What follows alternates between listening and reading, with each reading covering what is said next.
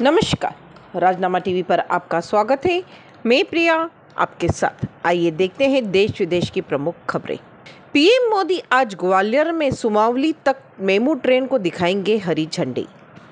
उप नौसेना प्रमुख बने वाइस एडमिरल सोपती। अजय माकन कांग्रेस के राष्ट्रीय कोषा अध्यक्ष नियुक्त। स्वच्छ, स्वस्थ भारत अभियान पीएम मोदी ने श्रमदान किया। स्पेन के नाइट क्लब में आग लगने से तेरह लोगों की मौत। अफ़गानिस्तान सीमा में बालाकोट जैसी एयर स्ट्राइक करना चाहता है पाकिस्तान।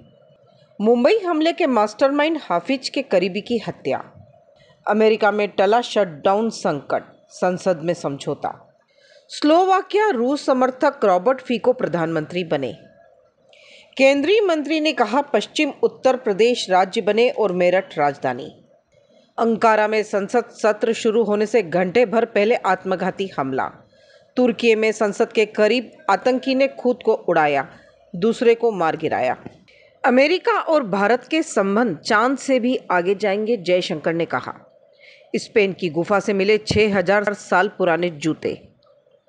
रांची में स्वच्छता अभियान के दौरान मंच से उतरवाई मुख्यमंत्री की तस्वीरें। बाकी की तमाम खबरों के लिए बने रहिए राजनामा टीवी के साथ, धन्यवाद।